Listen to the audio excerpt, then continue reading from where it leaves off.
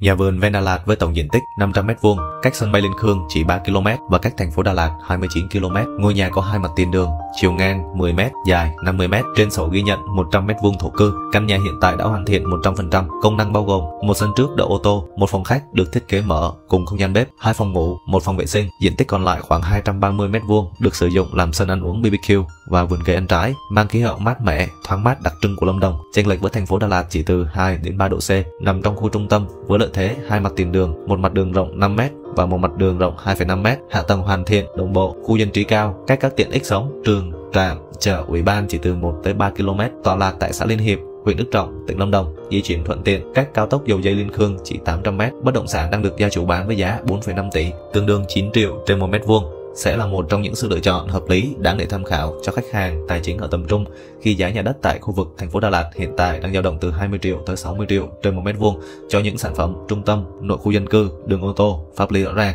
Anh chị quan tâm liên hệ số điện thoại em để dưới phần mô tả.